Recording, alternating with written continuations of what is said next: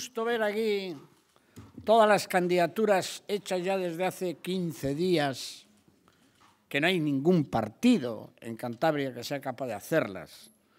Muchos recurren a rellenarlas con afiliados de otros pueblos, pero autóctonos, las 102 candidaturas, solo el Partido Regionalista de Cantabria.